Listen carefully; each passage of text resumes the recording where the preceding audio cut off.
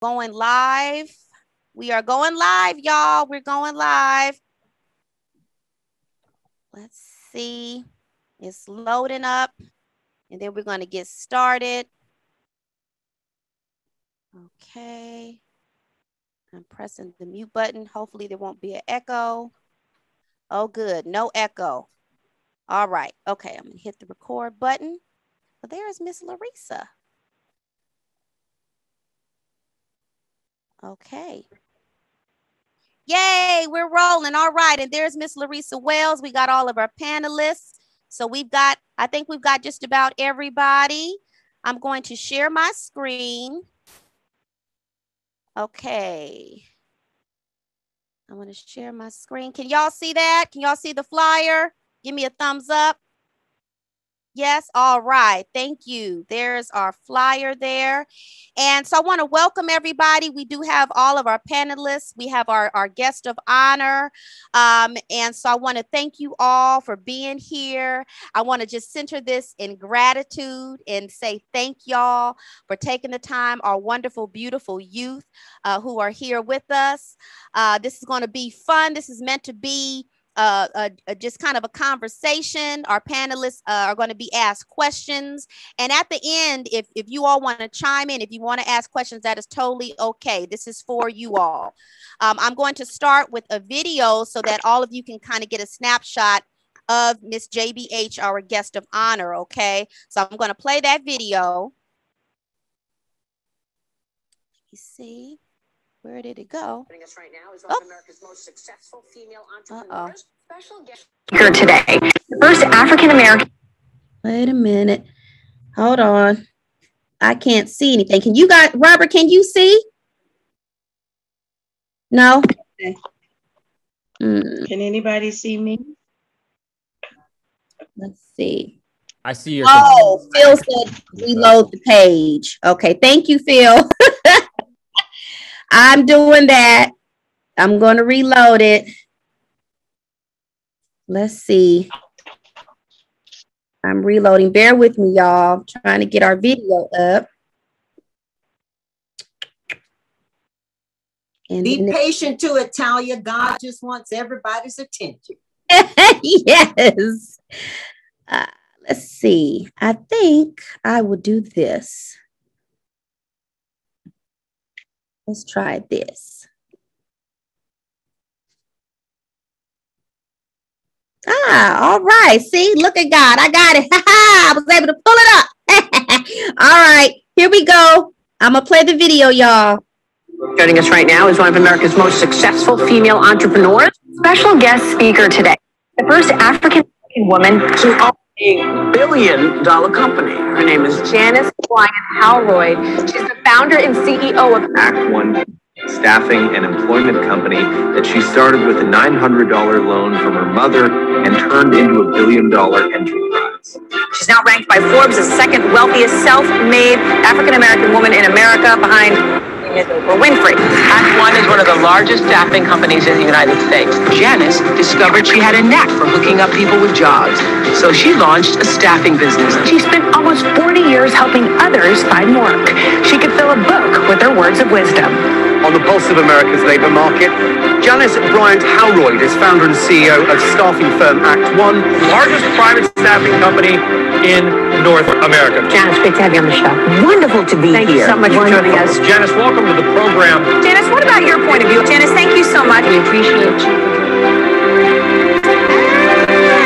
All right. I hope y'all can hear and, and see that video. I'm going to stop sharing. Let's see so we can all see each other.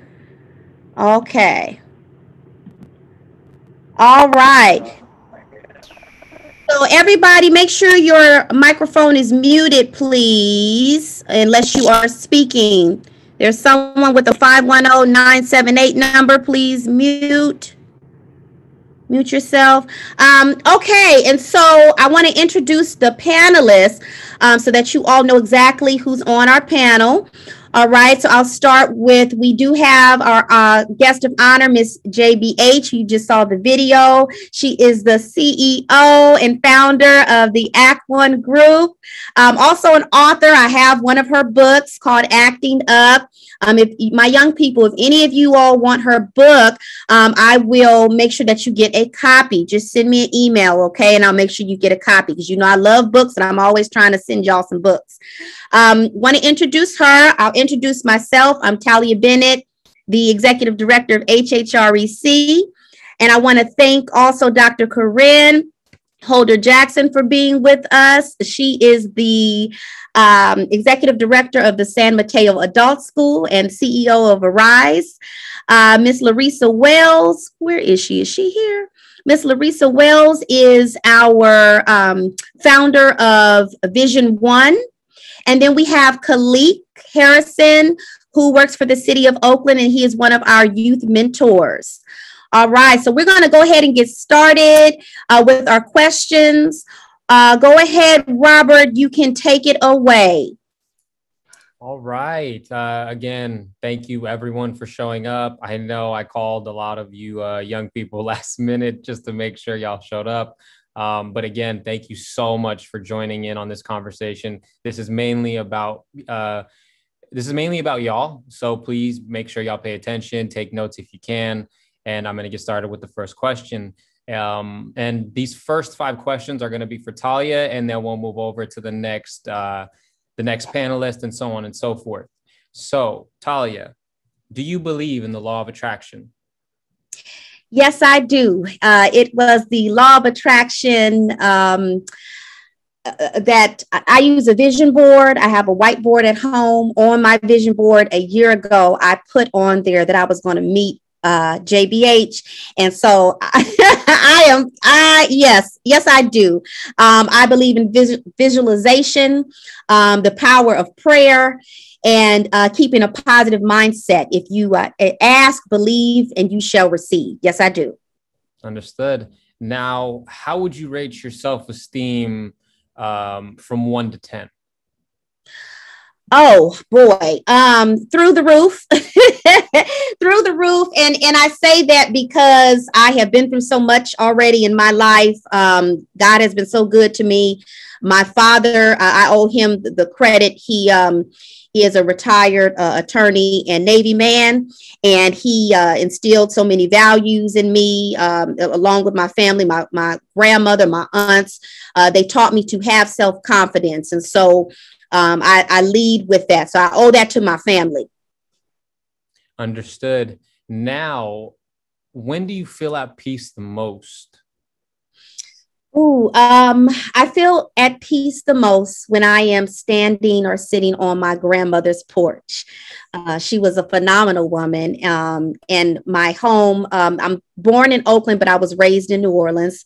And so when anytime I'm on standing on my grandmother's porch or sitting down, I feel at peace. I just feel like I can breathe. Understood. Now, how do you practice self control? Self control, how do I practice self control? Um, through the power of, of prayer. Um, I believe that there's enough to go around. Um, and I, I believe in not being greedy. There's no need to be greedy because God and our universe has, um, there's enough for everybody and and that's my belief so um, i try to just make sure i'm i'm doing my best to not be greedy whether it's food or you know finances or opportunities. I try to share. Agreed all right. And then the final question is even though growing up um sorry let me rephrase. Growing up or even during your adulthood did you ever experience something really traumatic? Yes, I did. I, I lost my mother um, to AIDS when I was 14. And I had to, back then, the medicine wasn't what it was now. And um, being in New Orleans, we really didn't have the best health care. And so I had to watch my mother um, wither away uh, in front of me and take care of her. Um, and so that was very difficult. Uh, I think of her every day and she's with me every day. But I'm I'm grateful that God gave me the, the 14 years with her that I had.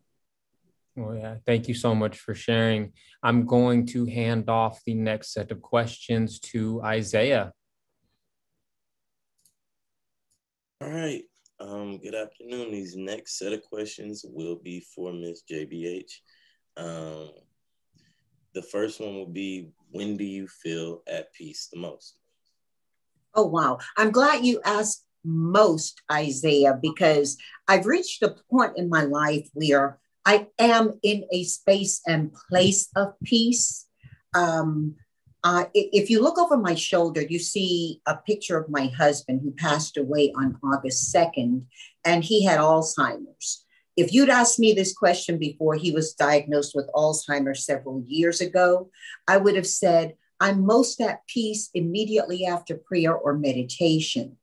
I found through the process of grieving with my two adult children here to support me that I can be in a constant space of peace so long as I don't allow it to be a separation. Most of the time, when we're living a very busy life, we look to find peaceful moments. And what we're really saying is quiet moments. You can bring peace wherever you are, and you can speak peace to wherever you are.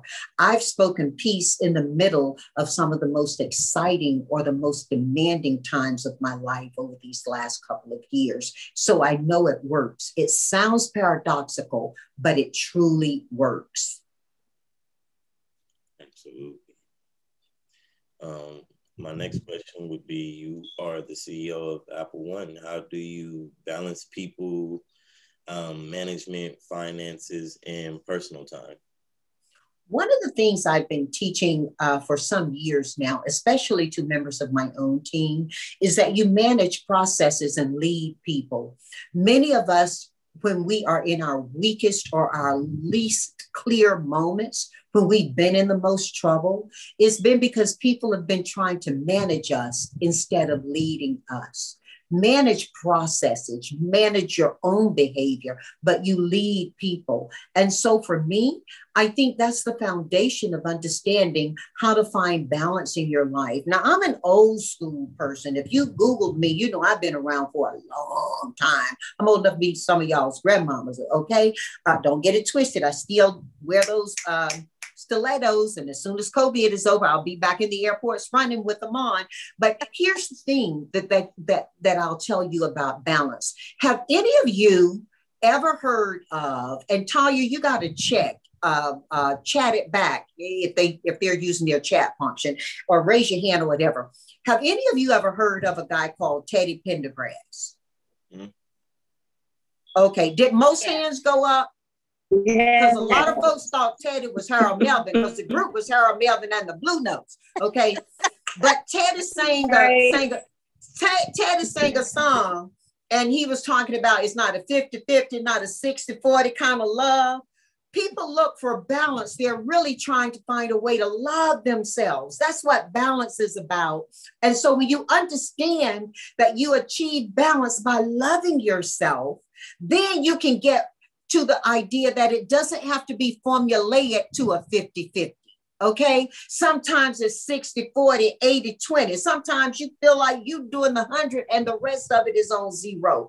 But it's about understanding you're looking for the love in you and don't start doing the math until you're ready to stop doing the living. Okay. Don't start measuring whether somebody's giving you 40 and you giving 60 in order for you to have management in your life. Make sure that you're looking at all of your life as a full equation. The other thing I will tell you in terms of a tip sheet around finances and personal time, I don't live on a time zone. I'm not recommending that, but I lead a global organization. We I have offices with people working in over 30 countries, and every day more than 20 languages are spoken by people I personally employ. So I'm, I'm doing meetings that don't allow me to be on Pacific Standard Time. Okay. So what I've learned to do is to be selfish about the time that I do carve out for myself. And I assure that I'm doing those things I want to do. But the way to make it work let people know and then don't allow them to break your expectation for yourself.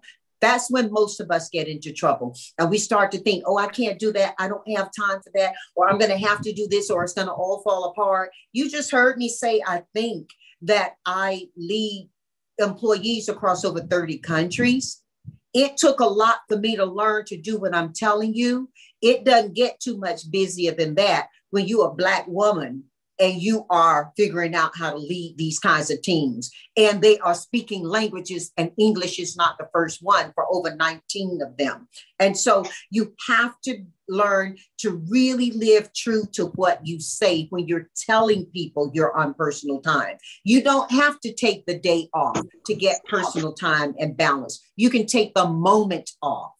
You can take the evening off, the afternoon off, but make sure what you're putting on is the purpose that you're doing that for and live true and legitimate to that. In terms of finances, don't spend more than you make. Say no to the loan. Don't spend more than you make or you earn. I shouldn't say make, don't make money. You go to prison for that. Don't spend more than you earn. Okay. That's That's that's a jewel. Thank you. That's exactly what I was about to say. That that is. Um, with that, it's a lot of moving parts. Did you always know that you would become a business owner? Honey, when I was growing up in Tarboro, North Carolina, pull the violin out. Here's the sad song, right? No, not at all. When I was growing up in Tarboro, North Carolina, one of 11 children, same mom, same dad, um, in a very, very uh, Southern Bible uh, uh, community, Bible based community. I didn't even know what human resources was, let alone that I would be the founder and CEO of a global uh, talent and uh, human resources enterprise. No, I didn't know that I'd be a business owner. What I did know, based on the strength of having a solid mom and dad, and, and, and that is so precious I want to pause one moment and say if you didn't have a mom and dad who were solidly a community in your home to help raise you, make sure you deliver that to your kids. You don't have to generationally repeat the errors that came before you, and you don't have to judge the people who you think were, were, were error prone in your life you got to forgive before you can forget. Okay, you got to forgive. Now, in terms of knowing whether I was going to be a business owner, I did not. But what I did have was a mom and dad who proved through their lives and showed me by their example that I owned my own behavior. I owned my own purpose and that I would be in charge of my life. They made us read a poem every day of our lives growing up and I, will share it with you later if we have time, uh, the poem that they made us read. But it pretty much exampled uh, how I would live my life. By the way, I'll say one more thing about owning a business. Just because you own a business doesn't mean you own the people who work in it. Done. Thank you. Um, what does project management mean to you? We kind of hit on that earlier when I said you manage processes, you lead people.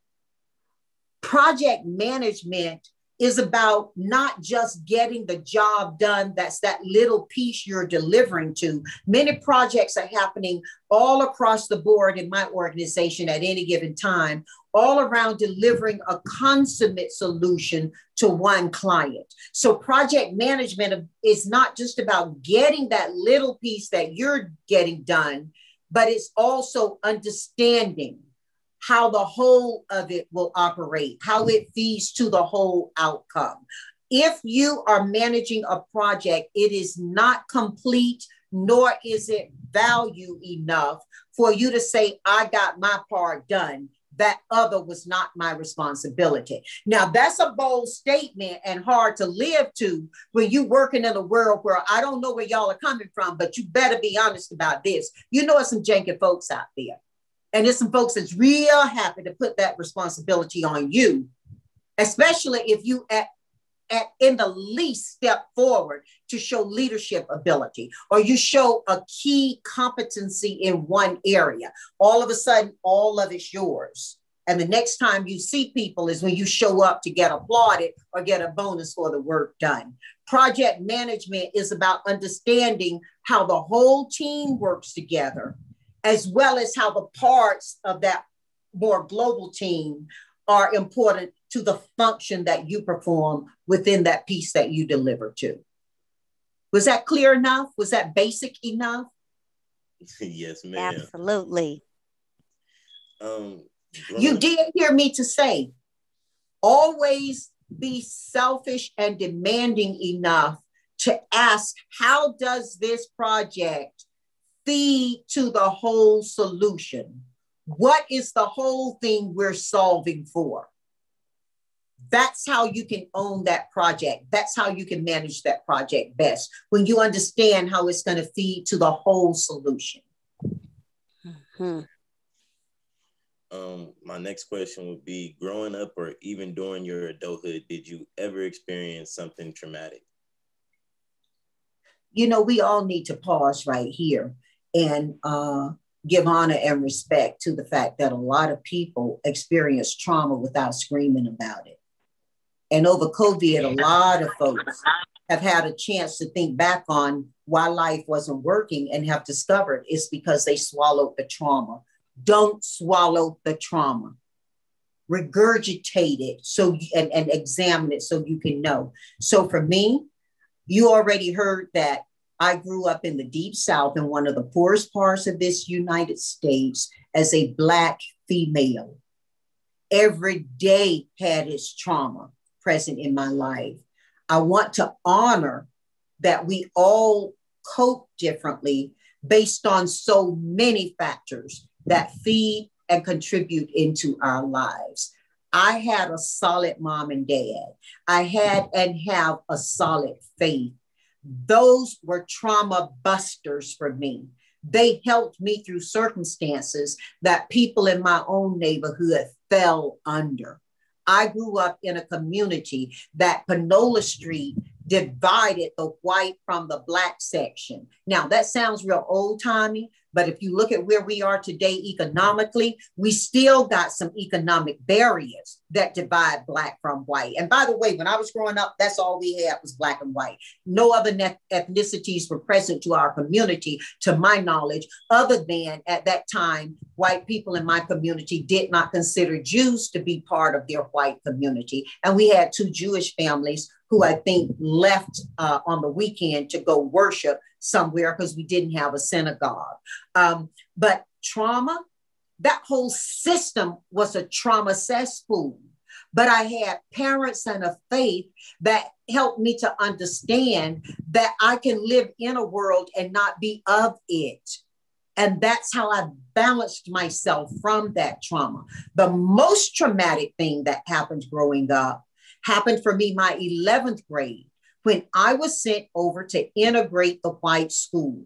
Your, uh, raise your hand or chat back if you know what I, I, mean when I say integrate the schools back in back in the uh, 60s and it okay this was before we had integrated schools and later I met the man who actually led the court case uh, at the federal level in the United States Julius Chambers and his uh, and his legal defense fund fought Brown versus the Board of Education that created um, uh, that got away with se- that did away with separate but equal, where they said black kids and white kids could be educated uh, equally but in separate schools, and they defied that and proved that there was no separate but equal.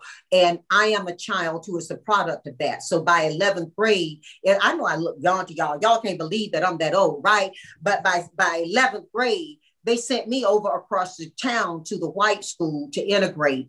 And that was the worst year of my life up until 2020 when my husband, whose picture you see behind me, passed away of Alzheimer's. It was a horrible year. I'm not going to waste a lot of more time on telling you how bad it was, but my history teacher stood up, up on the desk my first day in US history class and explained to the class, I being the only Black kid in that class and a female, why Blacks were so suited for slavery by describing the genitalia and the dumbness of the brain of the black male. Now, they didn't call them black males back then. They called us niggers, not Negroes, not niggers. They called us niggers, okay? And they explained why niggers were so right for slavery and that any thought different was a was an abortion of justice. And so I sat that year in that class with students looking at me as an abortion of justice in these United States.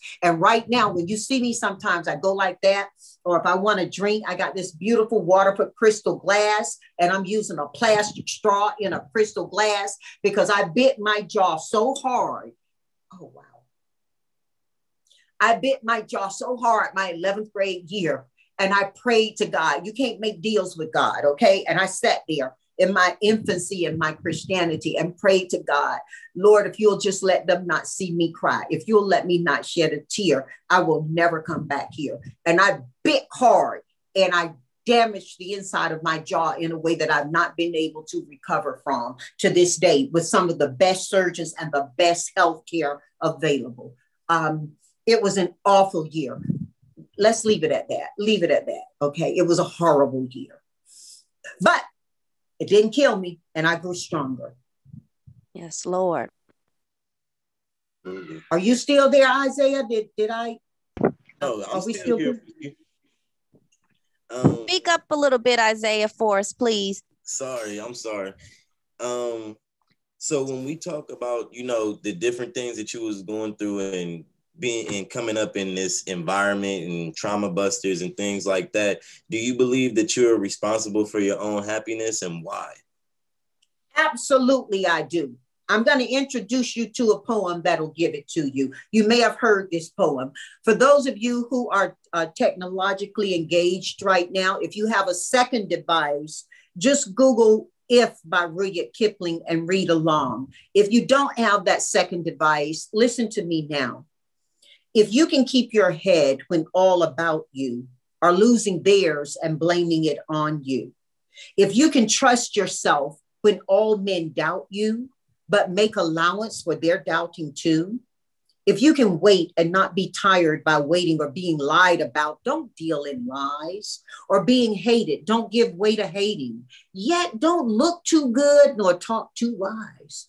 If you can dream and not make dreams your master, if you can think and not make thoughts your aim. If you can meet with triumph and disaster and treat those two impostors just the same, if you can to hear the truth you've spoken, twisted by knaves to make a trap for fools, or watch the things you gave your life to broken, then stoop down and build them up with worn out tools. If you can make one heap of all your winnings and risk it on one turn of pitch and toss, lose, start again at your beginnings, and never breathe a word about your loss.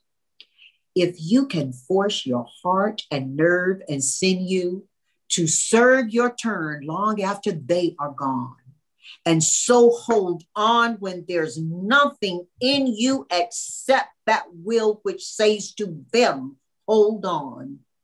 If you can talk with crowds and keep your virtue, Walk with kings, but don't lose your common touch. Neither friends nor loving friends can hurt you if all men count with you, but none too much. And if you can fill the one unforgiving minute with 60 seconds worth of distance run, then yours is the earth and everything that's in it. And which is more, I change the gender here and say, in life you will have won. I do believe, I do believe to answer your question that we are responsible for our own happiness. I do believe that I don't have to have it all to appreciate it all. I do believe that I can imagine it. I can think in secret and it comes to pass. Environment is but my looking glass. I do believe that success is the progressive realization of a worthy ideal. I do believe that God created me in a way that I have everything I need to be everything I need to be. Am I answering your question, Isaiah? If anybody believes believes with me? Would you please chat back, I believe? I believe, definitely. Yes, ma'am. Believe. I believe. Yeah, believe. I believe. This world is full of data. It is your responsibility to turn that data into information. Data without context is just stuff. Yet dreams are made of stuff that's been molded by your own. You see, you can't have a real conversation without total engagement. And a lot of us leave ourselves out of the conversation. It is, if you believe, as I now, I happen to believe, as I mentioned, I'm faith based, so I do believe in creation and God. Okay. Evolution for me is just a byproduct of creation. I don't dis evolution. I love the science. I I I, I took the uh, Moderna vaccine real quick because I'm old, so I got it before y'all be did. Okay. I believe in the science. Okay. Science and God are not on opposite sides of the pole for me. So I do believe you can you you you can uh, own your own happiness. You you have the responsibility for your happiness. I also believe that other people impact that. And for some of us, happiness happens a little bit easier than for others. Nevertheless, how hard it is is never a reason to not get it. Thank you. Am I answering a question for anybody here? Is anybody feeling me? Is anybody feeling where I'm going? What I'm Oh, saying? yes, I, I feel you wholeheartedly. I, I feel everything you're talking about, JBH, and and I'm, I'm I keep I keep pausing my screen because I'm I'm getting tears from everything you're saying. I'm just being honest. Like I'm I'm I'm I'm feeling the power within your voice and within your words, and that doesn't come easily to someone uh, who grows up in in in a, in a such diverse background who who who who didn't have anything. I was homeless my last two years of high school. I've struggled hard and hearing words from not only But- and, and don't ever don't don't I mean I know you have to do it in terms of the data because we got to get the money and the funding to make sure we're caring for it, but don't ever refer to yourself as homeless. You were at home without a roof because your home is in your heart. And sometimes the people you love help make that home. You heard Luther. I keep telling y'all all these old folks, right? Luther, a house is not a home. Mhm. You know, Yes, a, a chair. You know, you got to have somebody who cares about you. I get where you're coming from, and I'm here to tell you. Don't make the mistake of thinking you got to look at the world through rose colored glasses. Keep your glasses clear so you can see all of it. Keep your 2020, okay? And, and see it. Yes, but ma'am. just because it's ugly doesn't mean you're not beautiful. And you get to create in your life what you want from who you are, not what you have. And it ain't always going to feel fair, okay? I mean, look at me. I'm out here hustling because you know that's what we all do. We on our grind, right? I'm out here hustling every day against some of the largest companies in the world. They call me everything but a child of God, but it ain't what they call me. We know it's what we answer to, right? And so you got to make sure you're giving yourself the message that you want to receive because you got more access to data in this world than anything else. You know, we got more access to data than we do water. Yet some of us are denied that access to data. I was at home in North Carolina where I bought a, a, a I bought a historic property and couldn't get internet to that house to hold meters. I asked somebody turn your mic off because I can hear you. We talking over each other. Turn turn your phone off. But I'm sitting there in North Carolina in a historic home registered by the United States as being valuable for historic reasons. Tell you about that house later on. But in any event, I'm sitting there. They say I'm uh, uh, uh, uh, the wealthiest uh, uh, uh, self-made woman, second only to Miss Oprah Winfrey. All that stuff they throw out data about you, right? None of that mattered because I was in a community that couldn't get internet because it's predominantly black people and they ain't servicing well and the internet going in and out. And I'm on the phone talking with Washington, D.C. one day and talking with Europe the next day and praying that my internet holds up. So I'm telling you, I'm telling you that we all are still fighting that same fight. We don't all have the same tools. I wouldn't for one minute disrespect your struggle enough to suggest that mine was as deep. But what I will tell you is that you can't accept your struggle enough to believe that it's a reason that you can't go as far as you want to go. That's what I'm here to tell you. That's what I'm here to tell you. Yes, you know, ma'am. be a trauma buster. Don't let, you know, years ago, my sister Sandy, you got my book, Miss Talia. You know, I wrote about this my sister Sandy told me when I first came to LA and everybody black I met, I was like, where the real black people back then? Don't y'all put me out on the internet and say she talking about real black people. Okay. I'm trying to help you to understand something. I came to LA so screwed up about who I was, the victim. Uh, at that point, I was still a victim of, of, of a racist society. And I looked around me and all the black people were light skinned with what we used to call good hair. They look real, you know, and all this. And here I showed up and I'm dark skinned and nappy hair. I bought this, y'all y'all. And um, I'm, I'm, I'm here and, and, and I'm like, how do I fit in with these people? How do I fit in with these people? And my sister sat me down and told me that I was allowing people to get into my head. And she told me this, she said, never let anybody live in your head rent free. Mm. This is your property. Mm-hmm. You own this. You pay the tax for how this stays healthy and well served. Don't let anybody live in your head rent free. If you don't hear anything else I tell you today, you hear that because very seldom do you hear me speak in a negative. It's got to be profoundly critical for me to speak in a negative sense. And here it is again. Write it down, somebody. Never let anybody live in my head rent free. Okay, I'm sorry, babe. Let me answer your questions. And I also want to say too, uh, it going back to your book, when you were talking about the food, that fancy food that y'all was eating when y'all flew over, I you know, I fell out on that. I need you to oh, know. when my sister said it looked like a turd on a plate. yes. I mean, these people, they, they paying thousands of dollars at the Jacques Cousteau Museum, which is an underground aquarium. And they had the Queen of England's personal jewel, jewel, jeweler, Asprey Garrard, design a pen for us. I don't even know where my pen is. I wore it for years. I need to go find it and give it to my children. Anyway, and uh, you know, I'm sitting there with all these rich women from across the world thinking that they made a mistake for me to be there, or we were really bad off if that's all they could find for black folks. That's how I was thinking to myself, right? And I'm already a multi-million dollar company, and I'm still crippling myself like that, right? Mm-hmm. Sitting there wondering who gonna find out. How soon is they gonna find out I don't belong here?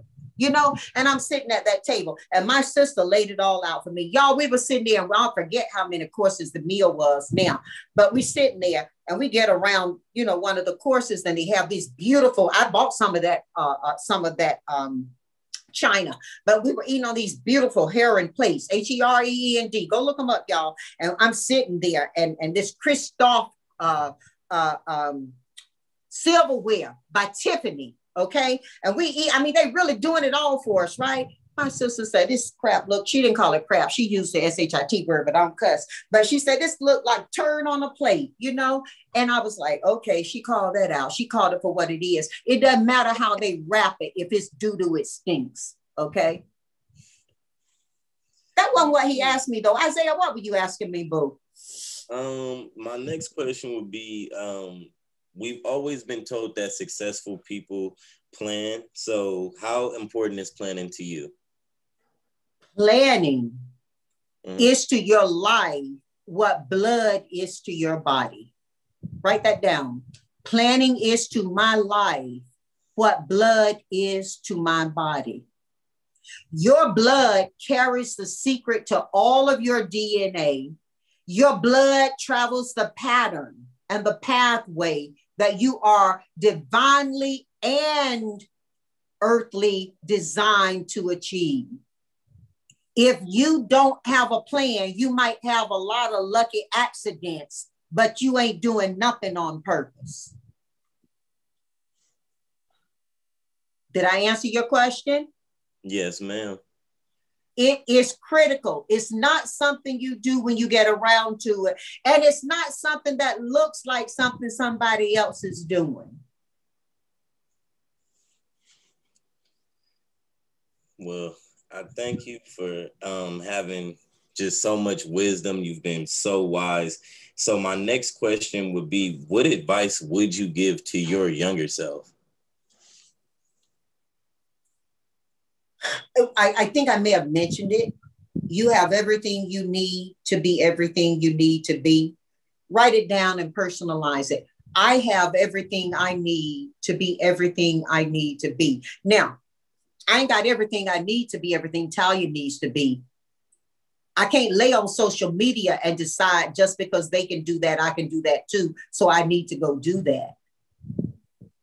I can't let somebody else look at me and say, I can't do that because of who I am or how I look. You have everything you need to be everything you need to be. Don't go trying to be somebody else. Be your real self, be your deal self. Right. You know, and be it stealthily. Right now, you got to gird up to get forward. You hear what I'm saying? And you got to understand who you are about. You know, we had three uh, uh, seniors come out to visit uh, my niece, and they are seniors at university. And they each attend different universities. I'm not gonna call the schools out because one of them didn't have a good outcome. I ain't gonna try to diss nobody school, okay? Um, but they were asking what, and they were asking. My daughter said, "Don't say but." It means everything you just said doesn't is isn't true they were asked a question about what their lives will look like in two years and what their plan was for it looking back. Two of them had a plan. One of them had not planned on being asked, so they didn't have a plan. You know, where I grow up, they say, I don't have to get ready because I stay ready. My mom is stealth. She's southern, she's sweet, she got this little lovely uh, voice, but don't get fooled, okay? My mom doesn't even say I don't have to get ready because I stay ready. My mom said, You are ready, be ready. Be ready, just live in ready. You've got to have a plan. And I'm going to tell you something the people with the best plans are best able to pivot. Case in point, before COVID, companies that didn't have real solid plans struggled like crazy to pivot mm-hmm. to get people working from home to redesign product or services to mm-hmm. support clients in different ways they struggled but the companies with real solid plans before covid had real agile aggressive pivots during covid we are coming out of covid a stronger company at Act One than we were when we went into COVID. Yes. We had a plan. This is something you just have to believe. And the best way to see if you believe something is to break it down. If I'm believing it, I be living it. If I believe it, I be living it. Okay? Yes, ma'am. I Will, I really want to thank you for answering all of my questions. I got one last question. We've talked about trauma and we've talked about happiness. We've talked about planning and being successful. Um, my last questions would be two for one. Do you meditate and how do you manage your, your own stress? Yes, I do. I meditate and I pray. They are different things for me and they work so well together to serve uh, for me. And so um, that's something that I really hold precious and dear as a part of my life. In terms of stress, look, y'all, I I I, I know y'all see that S on my chest, right? You know, super, superwoman, superwoman, super, superhero, right? Um, I'm human. Sometimes I cry. Sometimes I exercise. I'm blessed to live on a peninsula where I can get out and walk with nature and not have to see another soul. And, and, and I know folks living in cities and folks who don't live with roofs over their head don't have those options. So I remind myself of my blessings. My best stress management tool is deliberate prayer. You can pray different ways. You can pray a prayer petition where you are actually praying, asking for something. You can pray a prayer of gratitude where you are thankful and expressing thankfulness for something. You can do an intercessory prayer where you're praying for somebody else. The best way to manage stress is to sit down and in that moment with absolute honesty, meaning not leaving anything out, because two things can be true. Make sure you considered it all so that there's one truth in it. And you do all three of those prayers together and land on a subject for what is appropriate. Because sometimes one is going to need two and, and, and not need the, the third. But do the prayer of intercession, the prayer of, uh, uh, of, um, uh, of petition, and the prayer of gratitude. Do all of those in that moment. Practice it for yourself. Please, you know what? Babies, do it before you go to sleep tonight. Just do it. Just, just do it in that order. Intercede on somebody's behalf. Then ask something for yourself. God knows your heart. You can't hide your secrets by not praying about it. And then express a prayer of gratitude when you do that and you let it, you do it so well and so long that it flows like water for you, not only will it heal you, it'll heal everybody around you. Because the reason people succeed in life and get a lot of people to follow them isn't so often they know more than you do, or they do different than you, or even their experiences have, have, have given them better knowledge than you. Sometimes it's simply that they got that glow and I'm, I'm teaching you how to glow from within. What did I ask you to do? Somebody repeat it after me. What did I ask you to do? Uh, uh, chat it back. Chat it back. What did I ask you to do? Your stress management. What's your recipe for stress management? The prayers I told you. Now, somebody read it because I can't get into the chat and stay on screen at the same time on my iPad. And here I am trying to trying to look. I know y'all got the three down. Somebody. Let's see. Okay, I'm going to tell you one more time. What when I tell it, chat it. This is your recipe. There we okay? go. Here we go. Hey, now pray, pray for gratitude. All right, I see y'all. But, but you got to do it in order. You got to do it in order. Write it down, okay? Pray a prayer of intercession. That means you're praying for somebody else. Second, pray a prayer of petition. That means you're petitioning on your own behalf. You're asking for something for yourself. And then pray a prayer of gratitude. That means you're being thankful and acknowledging that you have it. Okay? Now, when you do that, you will succeed. It there you go. There you go rashid. There you go brandon. There you go lennon. There you go. There you go Julia. there you go. There you go. Here's why that works. We are taught that if we ask it will be given to us. If we seek it we will find it. And if we knock it will be open to us. So when you pray for somebody else automatically your sub self not subconscious, your sub self receives that number one, you have value enough to share. I can share a prayer. For, there you go. There you go, Sparkle. I can share a prayer for somebody else. Okay. It's not about you being selfless or you being so humane that you're praying for everybody else, although that is part of it. It's telling your sub self I first can pray for others because I'm not the neediest in this moment. The second prayer, intercession, is when you pray for yourself. That's saying, I love myself and I honor my creator enough to believe that I can ask for it and it can be given to me. And then that prayer of gratitude is thankfulness. It's saying, I see you, Robert Williams. It's saying, I thank you because faith is the evidence of things unseen. It allows yes. you to pray in faith. When you say thank you for something you just asked for, before you even see it in the physical or spiritual in your life, you're acknowledging it as yours. And when it comes to you, it doesn't shock you so that you fall apart. Half the people y'all saw as people you admired or you followed on Instagram uh, four, five years ago ain't even got a dollar today because they didn't know how to intercede for somebody. They didn't know how to petition for themselves, and they didn't understand how to live in gratitude. That's why mm. Elvis, who was one of the biggest stars in his time, selling all those black folks' music, died now. Died sick and unhealthy.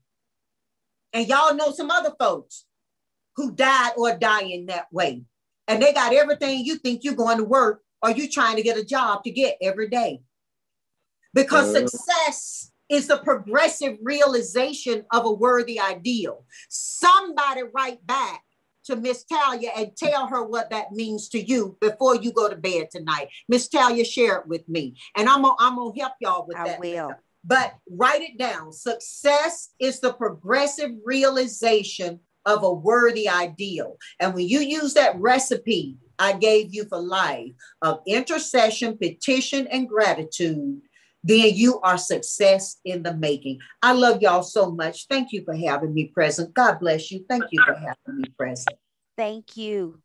Thank you. Thank you, Miss JBH. We appreciate you. We appreciate you. Let, let me see hearts and, and, and thank you. Show me some gratitude in the chat before I uh, turn it over to Kalina and Kalik. Thank you for your time, JBH my youth out there, let me see some grad. You can turn your mics off and say thank you. It's, it's perfectly fine to do that. I want to hear your voices. Thank you. Thank you. Thank you. Thank you. Thank you. It was very did, did, did, did, did I help yeah, anybody today, Talia? Did I help anybody? You Absolutely. Me. You for sure helped me. maybe that maybe one of these days they'll make a movie out inspired by you. Oh my God. You know what? Angela Bassett asked if she could make have the rights to my life so she could make the movie. And I told her I ain't through living it yet, girl. I but know hey, that's it right. would be cool to have. I want to turn it over um, to Kalina uh, and Kalik. Um, our next panelist, uh, Ms. JBH, we want to be respectful of your time. And so we do have a hard stop at three. And so I know we want to um, speak with Kalik and Dr. Corinne and Ms. Larissa Wells. So I'm going to, here I go, you know me shine you out. I'm going to turn it over to Ms. Kalina, our, uh, our Spelman lady, uh, who is going to ask Kalik a few questions.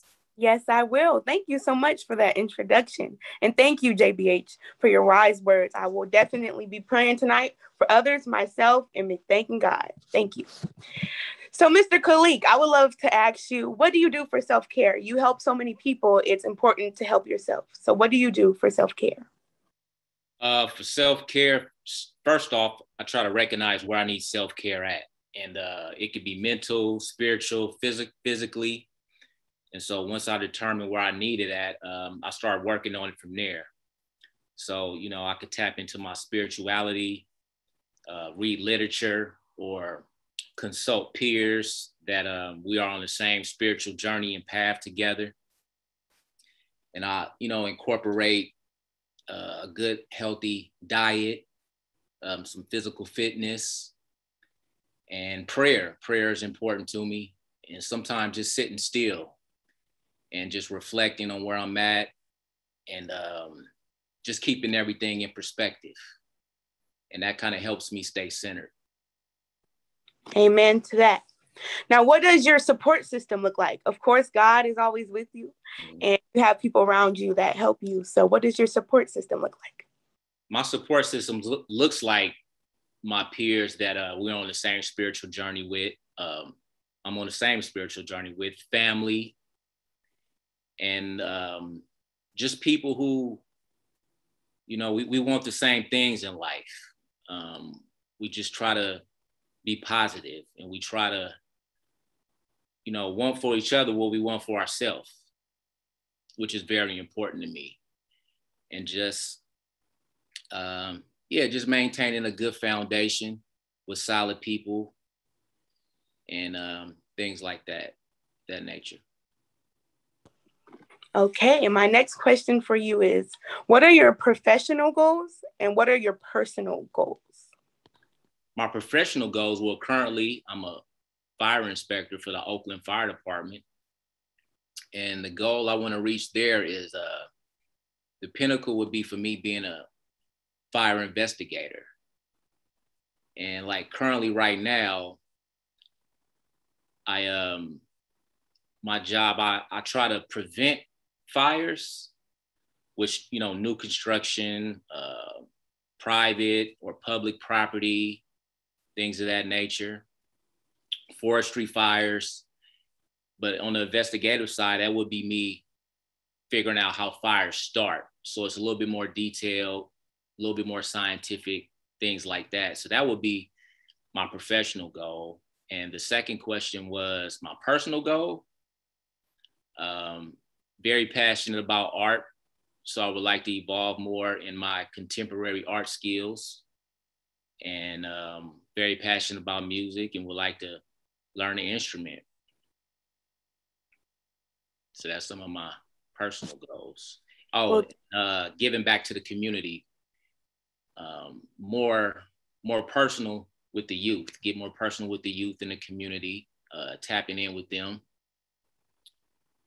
So yeah. Thank you so much for that. Now, for the interest of time, we must move on to the next group of questions. Um, and that'll be for Dr. Corinne. I'll turn it over to you. Thank you. Thank uh, you. Hello. And who is that? Uh, we got RJ on the yes. line. Okay. Yes. All uh, right, RJ. Hello, Dr. Corinne. It's nice to meet you. Uh, nice thank you for taking you the time. Thank you. Um, thank you for taking the time out of your day to answer um, some questions. Uh, the sure. first question I have for you is uh, describe a situation that you've healed from. Oh my gosh. Well, let's see. Um, hate to date myself, but in 1998, I was working um, as a manager in corporate communications and public affairs for um, AAA of Northern California. On my way to an event for them. Um, just finished my MBA. I just finished a, a, second bachelor's degree in an MBA and I was on, on the fast track. And I was on my way to an event driving a company car and I was on my way about to two streets from the freeway going across the bay. I live in San Francisco. And I got hit by a woman who was high on crack cocaine. She had two empty 40, um, the liter bottles of Old English in the back, and she had one in her lap. I remember hearing some screeching of, of a car, and I said, Oh Lord, somebody's gonna get hit. And the next thing I remember is the fireman cutting me out of a car. Um, I was sideways like this on a, a telephone pole. And I had a fractured pelvis, some head injuries, but thankful because the Lord saved me. She was not hurt at all. She um, was screeching that I got my car got in her way. I remember hearing that as they were loading me into an ambulance. Um, I, it took me two years to get back to being able to walk without um, a walker, crutches, and a cane.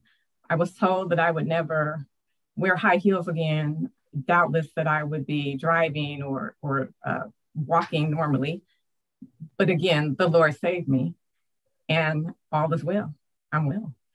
Um, it was it was a healing for me because I was in the hospital and they didn't understand exactly why I couldn't stand up because they had to do three dimensional x-rays. They had to do a lot but they were trying to give my job away to my secretary, mm. who was white.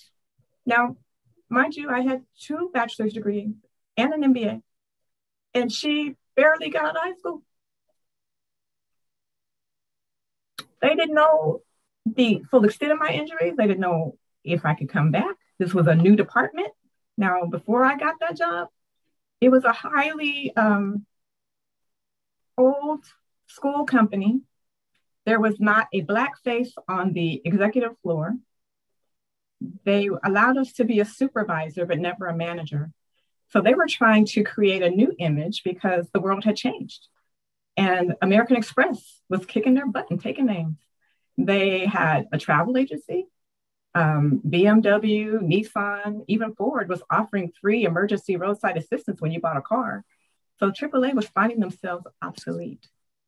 So they were trying to change it, which is why they decided to bring me in.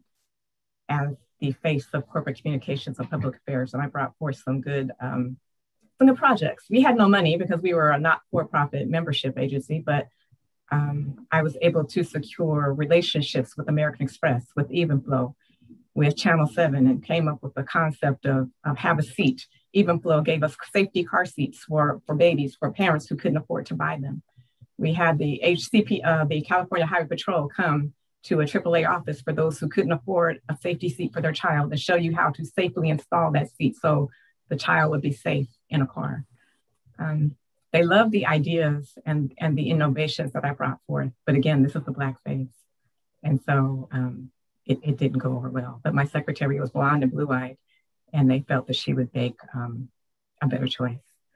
Um, so it took me almost two years to get back. And when I did get back, they told me that, oh, I was also licensed in property and casualty, which is auto insurance, home insurance. Um, and I also had a life insurance license. But they told me that even after all of that, that when I was ready to come back to work, they no longer had a job for me. So that was a, that was a healing process. Um, coming from a family where I was the first generation of a, of a college graduate, um, my grandmother grew up in, in, uh, in Center, Texas, not even on the map. Uh, wanted to be a nurse. The Usses did not get to be nurses there. So she came to California so that she could be a nurse. Um, talked to me about the importance and the value of education. Went to George Washington High School where I was told that college was not in my future, that being a secretary would be a really good job for me. I was graduated from high school at 16 years old. I had great grades. It wasn't about grades, it was the fact that there were 100 Black students in a school of 1,200 people. And all of the Black students were told we were supposed to not go to college, but we were supposed to get jobs in the state of California. So I had to, I, I was dismissed from the company. Uh, vocational rehab, they gave me to say that, you know, we can rehabilitate you so that you can get a job. Well, I had a degree in finance. I was an insurance professional. I was even um, could was qualified to teach at a community college, a university. Um, but they told me that um, there was something like being a hairdresser would probably be a good job for you. Um, and so it, it, was it was it was amazing. Um, at the time that I was ready to go back to work, um, we had a recession. It was the year 2000. Dot com became dot gone, and there weren't jobs anywhere. But the Lord worked it out. He gave me an anchor for my mind. It worked out. Yep. So, uh, Dr. Corinne, in your opinion, what are some ways that the youth uh, can combat depression and anxiety? Oh my goodness. You, you just are so blessed. God has put you here. He has a plan and a purpose for your life. Your DNA is so unique inside of you that nobody has the same fingerprint. Nobody has the same DNA. And I can guarantee you that He has a job for you to do that only you can do. So it's time for you to get excited because no matter what your past looks like, it doesn't dictate your future. And the most important thing that you must remember and hang your hat on this is that no condition is permanent. All things change. The only constant we have in this life is change. And Miss Miss Janice Bryant Howroyd said that you have everything inside of you that you need to be successful. I get so excitedly passionate about helping individuals discover that untapped potential because I truly believe that we only use about 10% of the potential we actually have. How do you tap into it, strategize, and how do you get from where you are now to where you're going to be? You should get excited because when I see each of you that I can see, oh my God, John, I see future so bright. I need to wear shades, but so do you. You're going to do some great stuff. And um, my last question for you is uh, how do you deal with negative thought patterns and how do you counter those negative thought patterns? Um, just like Miss Talia and Miss Janice, I am a true believer. Um, the Bible says, and, and I read it as my my book, uh, uh, and, it, and it is the book that has helped me get over everything.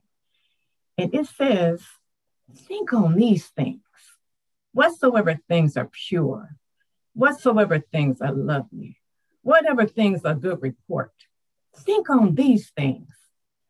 When you have to understand that there is a battle for your mind today, and you've got to be careful about what you let get into your mind.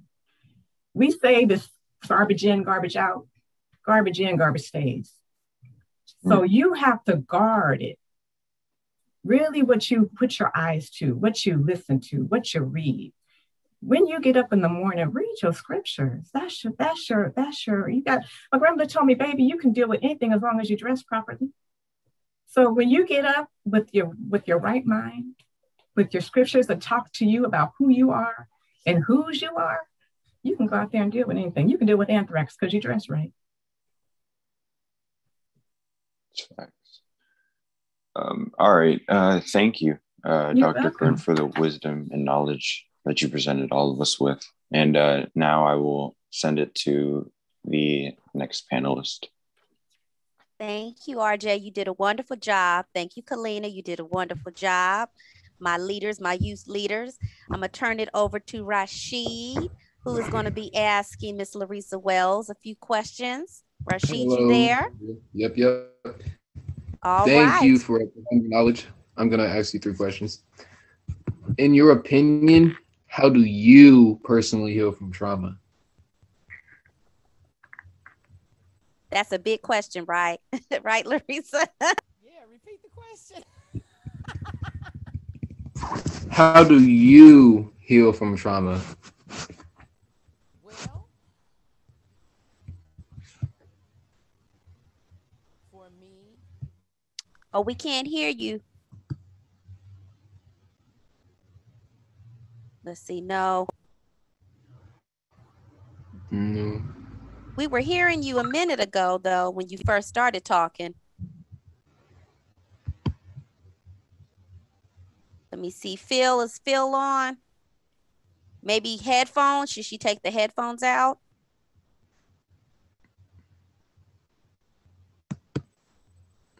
Miss Larissa, if you look at your toolbar where it says where it has mute and unmute and click the little arrow, it'll it should switch you from um, or allow you to check your select a speaker or select a microphone, and you can be able to select your your phone or your or your oh, computer. I can't hear you. Go ahead and uh, unplug it's your, all right. your headset. Yeah, it's yep. unplugged. Okay. okay, look, she's she's showing us. um, it's okay. Let's see. Okay, no problem.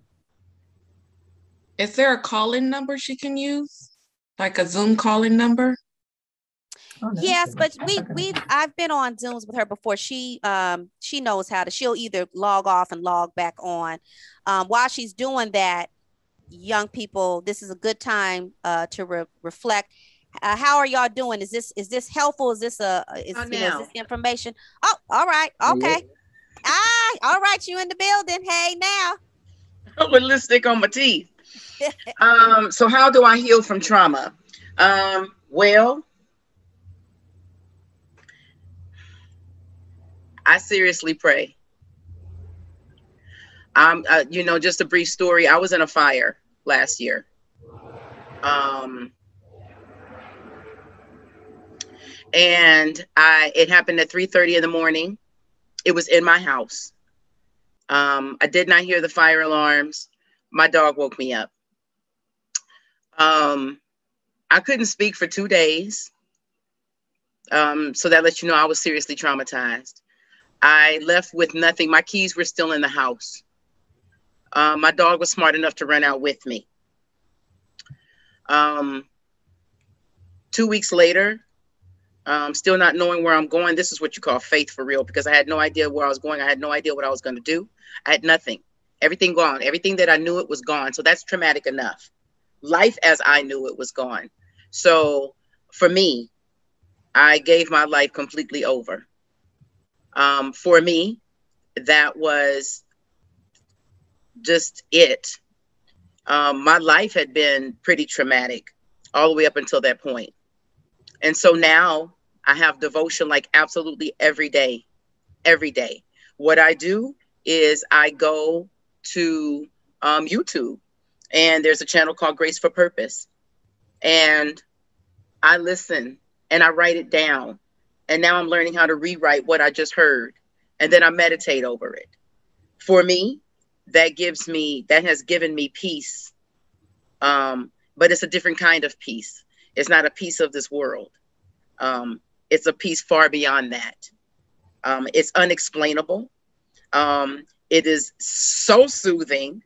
Um, I had people trying to sue me for the fire. And I still got somebody trying to sue me for the fire. Now I'm saying I don't know how we got started. Would y'all let would y'all let me know? You know. So, um, but in the midst of it all, um, I'm good and I'm still prospering. So nothing can stop me from achieving what has already been set forth for me. So, you know, that's that's what I do every day. I do not miss a day. Now that's key. So where there are some things that are in my life that are inconsistent, especially with this COVID, that is the one constant that is in my life because I cannot go on my own power when I walk out this house. There's already all kinds of things against me. There's already all kinds of things. You know, I pray for traveling mercy. I, I talk to him all day, all day. So that's how I heal um, from from trauma. Uh, yeah, thank you. okay. Well, since now we know how you heal from trauma, what is your advice for today's youth experiencing trauma, other than the ones that you just provided? Yeah. So let me tell you, this is what I honestly and truly in my heart believe. Number one, I want you young people to understand what I did not understand, and that is that you have power. You have all the power, but we have been led to believe that we, especially people of color, that we got no power, we got no voice. But let me tell you, you do, because when it comes to that uh, Declaration of Independence, it just starts off, we the people. So we're going to stop right there and say, we the people. If right. there is something that you disagree with, let's say while you're in school and you are not ap- appreciating the way that somebody is speaking to you, you know, I figured like this: if your if if if God don't speak to you that way, Christ don't speak to you, well, you know, doggone will him man is not going to speak to me in this manner. You have to understand that you are important and that you matter, you are valuable. And as was mentioned before, also only one set of foot, I mean, footprints and fingerprints, dead or alive. Now that in itself should tell you that's amazing right there. But if there's something that you disagree with, I'll give you an example. Um, there was some uh, there was some young people that I used to teach. I used to teach urban design to 11th and 12th grade, well, 10th and 11th grade students, and the food was horrible. It was absolutely horrible in their school. And I went and tested it myself, and guess what? It was horrible for sure. And so I said, well, all right, this is what we're gonna do. But it also comes with uh, some adult supervision, and only not to not to tell you what to do, but to help guide you along with what you already feel in your heart to do. I feel that that's what we as adults should. First of all, we need to listen. So, and that's real. So I listened to what they were saying. I got the number of the state of the state super um oh gosh the uh state director of nutrition. Yeah. So i put the number on the board. I said i know that you guys are not allowed to have your cell phones but i'm giving you permission to put them out i have four questions on the board. Do not stray from these questions. Pronounce all of your syllables because that is important. That is important. If the word is yes then say yes if the word is no, say no. If the word is for, don't say fo. You missing an R and a U. So I'm saying have some integrity and some dignity within yourself and understand your importance and your value. And then they called.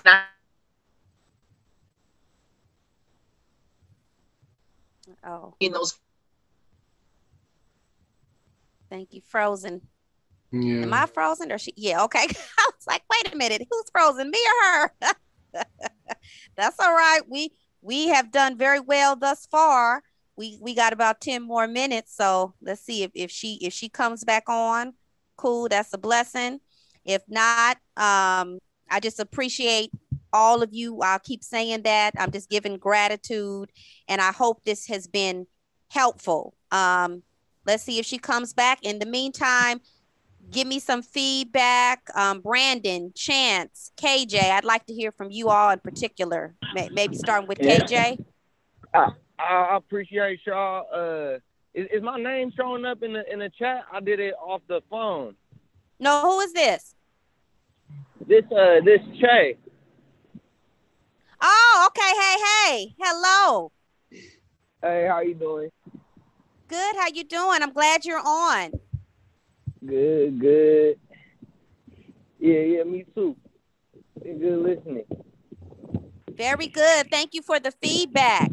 Appreciate you. I appreciate everything too. Like I like the um the advice um everybody gave about you know self empowerment, you know having love for yourself, and prayer. That's the one thing I took away from that is prayer too. You know, just having faith. So yeah, I really appreciate everybody on the panel. I, I'm glad to be here. May I say something? Absolutely. Write this down. Prayer without works is dead. Okay. Let me write that underline, yeah, that underline message for you, boo. When you praying, you act on it. And by acting on your prayer, if you don't see result, that means you that is your best tip to go back and do some restudy to set yourself right. You know we and i say we as society adults have given a lot of false messages out there by raising our children up. And when i tell you you can you know um, like i believe in in, in the bible uh, passage that says um, i can do all things through christ who strengthens me that doesn't mean I can go out there and do everything. It means I can do those things that I'm strengthened by Christ to do, that my faith strengthens me to do. And so you earn your faith. You don't just learn your faith. You walk and you work through it, like Dr. Uh, was telling us. You know, um, I think that if you, we got to be honest that we short sold y'all to believe that everything was so instant and so easy in a digital world, in a world that's filled with microwavable food. Y'all know when I grew up, my mama used to go out in the back and make lye soap in a big black cast iron pot. And then the she and my aunt Mag would wash clothes with something called a washboard. And as kids, we would play. They taught us how to squeeze the sheets out by playing and circling to turn work into play. Um, so I grew up with a lot of stuff that helped me to understand and appreciate the value of device and technology as it came along in my adulthood. But we haven't given you the benefit, the joy, and the history of who you are. Folks don't want to know sometimes. But you know, the biggest thing that we have to come square with you on is that the stuff we show you in books and movies are books and movies but the reality of your life is nothing like reality TV that you watch. Half of the people you saw on reality TV, I think I mentioned earlier, four and five years ago, are broke today. And so you got to learn some core stuff that helps you. That's why I tell you success is the progressive realization of a worthy ideal. Success isn't what you have, it's what you're doing, it's how you're feeling, you know, it's how you're impacting. Mother Teresa was successful. She died broke. Dr. King was successful. His family ain't millionaires. Gandhi was successful. Jesus Christ was successful. All these people. Yeah, we are very faith based. And in COVID, a lot of people ran to their faith who had kind of left it in the drawer at home when they were going out to work every day. But you got to understand that you your journey is at your pace and because my faith has evolved to a certain level don't judge yourself based on what i'm doing with my faith take time and enjoy yourself. God never gave anybody else something intended for you. So don't be in such a hurry to get it. Be disciplined be thoughtful be thorough. You know come correct to your happiness and to your joy Don't rush to it. Understand the difference between a feeling and a being. You know, you can take something and feel good for a minute. You can be something and be feel good for life. And so I'm gonna shut up a little bit, but I just don't want us to all suggest that if you go home and you just pray for it, it's yours. Faith without works is dead. Your prayer and your faith word are prescriptive to you the way a student goes and learns medicine. But in order to be a true surgeon, you got to get out there and you got to do the cut and you got to see the blood. That's how a true surgeon operates, and that's where the healing comes from. And, and, and in terms of that question about managing trauma, most folks, my, I was going to say old folks, most folks my age, I'm the oldest person here today. Most folks my age uh, have not gone through some of the stuff you're going through. That doesn't mean my journey was any less important to me than yours is to you, but we got to face reality. If we both trying to get to the same place and you got further to get there than I do, it ain't been fair. But God didn't promise fair, God promised justice you know, and they are different things. And so work hard to get to where you want to go, but don't let anybody undersell you to believe that, oh, well, if I'm not making it, I must not be prayerful enough. I must not be faithful enough. You also deserve a community to help you get there. Reach out, establish your community. I'm so, so uh, honored that Talia and, and, and Robert and Isaiah invited me to be a part of HHREC community. So, you know, reach out to me through them if there's something you think I can help you with. But folks can get real dressed up and they can forget where they came from. Those are most often the people who land right back there. So, you know, let's let's help each other up. You've helped me today.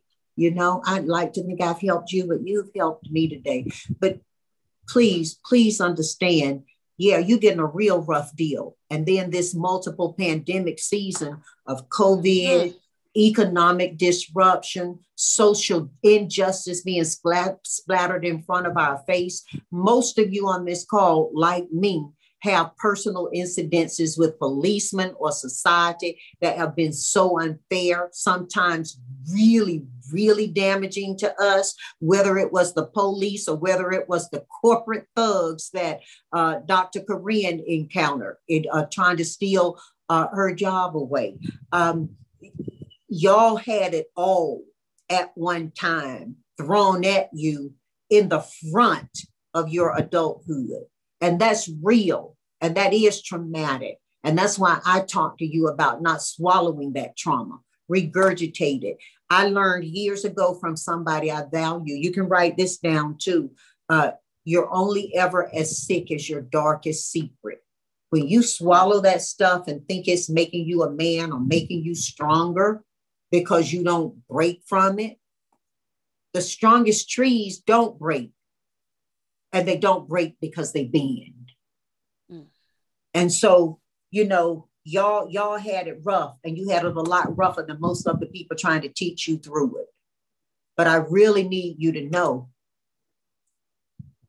that you, you will be stronger for it but you got to sow some deep roots i went home to north carolina eh, to that house i was telling you about and i cried because i lost a couple more trees in the rains but you see what happened is those 100 year old trees were still standing and very tall but some of those younger ones had fallen over because their roots hadn't grown deep enough. And so they weren't anchored into the soil deeply. So when the water came and the soil got wet, they fell over because their roots weren't deep and strong enough to hold them up. Y'all are in your root building season and you got a lot, a lot of stuff going on. Don't let anybody steal the trauma that's going on around you and just call it trial. Okay? Don't let them steal it. It is real and it is hard.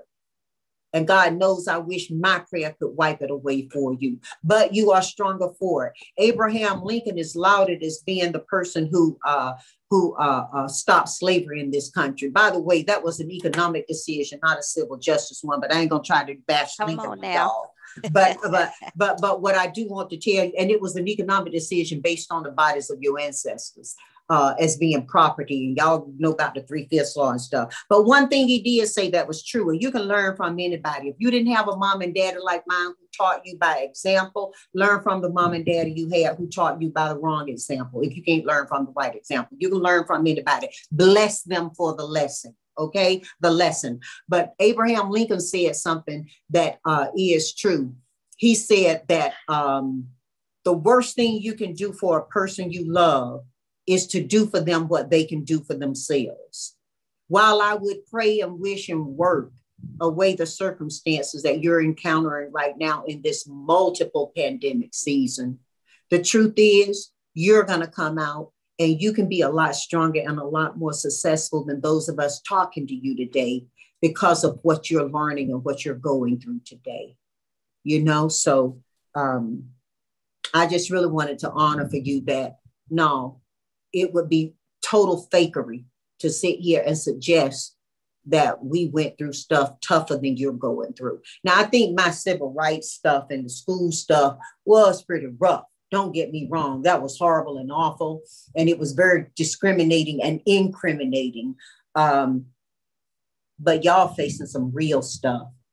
And I pray to God that five years from now we'll reconnect in this in this forum or face to face, and y'all will tell us what you learned, and we'll be reading and seeing what you're doing. Thank you, Ms. JBH. Thank you, everyone. I want to be respectful of time and I got to get out of here and catch a flight to get back home. My staff and young people, I'll see y'all next week. Uh, to our panelists, I want to say thank you, thank you, thank you, Dr. Corinne, Ms. Larissa Wells, Ms. Mr. Khalik Harrison, and Ms. JBH and youth. Thank y'all. I hope this was a blessing for you. Um, we did re- record it. So if you all want to go back and listen to some of these jewels that were dropped, you'll have the opportunity. Okay. Again, I want to just end this and close this out with deep gratitude. Thank you all. Thank you so much. Thank you. Thank you to everyone. Really Thank you. Thank you. Thank you. Sorry, Thank you guys, I was not able to answer all of your questions. My internet just died on me. I apologize for that, but I came back. No problem. It happens. It happens. Thank you, Miss Larissa. Yeah, I just want to say this meeting was pretty helpful for me, honestly, because you know sometimes you can get off track, and you know having them come on and just reminding us of our, you know, to believe in ourselves and self worth. It was like a breath of fresh air for me, honestly. Yeah, well, you guys, you guys are really important, honestly, and and I, I just really want you to know how important you really are, because you know, coming from Oakland like I do, people ask me, well, what part of Oakland? I'll be like, all of it. Came from all of it, and I came through the '80s, and I'm gonna tell y'all something. It was rough. It was rough because that was when every everything happened. The jobs left. They got outsourced. The the crack got flooded in our neighborhoods. Panthers killed off. It was it was horrible. So I get it. Um, And, and, also- and, and you know what else? They need to remember that you do have currency, whether you got a dollar in your pocket, if you got an ID in your pocket, your strongest currency is your vote. Get informed on mm, those mm. local levels, guys. Everybody show up at the national level to vote for president and get excited about what's happening or not happening.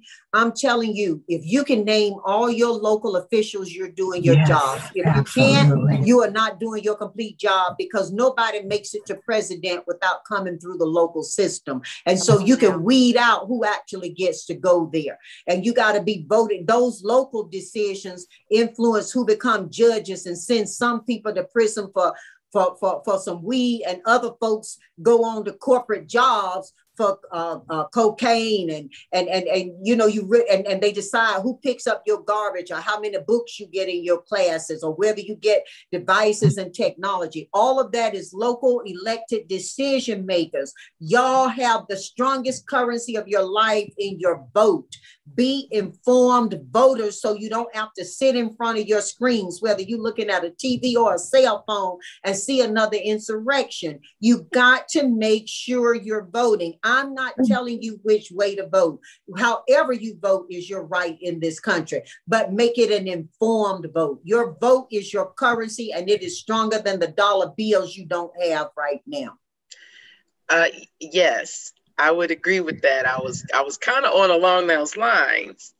Um, I, I was getting there, but um, thank you very kindly. I appreciate appreciate everything. Um, thank you, yeah. everyone. Appreciate you all. I, I, I thank you. You all have a beautiful and blessed day. Thank you to my panelists. Thank you to my young people. Appreciate y'all. And I'm yes, going to be emailing you, you, some slides that Miss Larissa Wells put together for us with a lot of different statistics and powerful information. So I'm going to be sending that out. That's our parting gift. Okay. And so thank, thank you, you all. Thank you. Bye bye.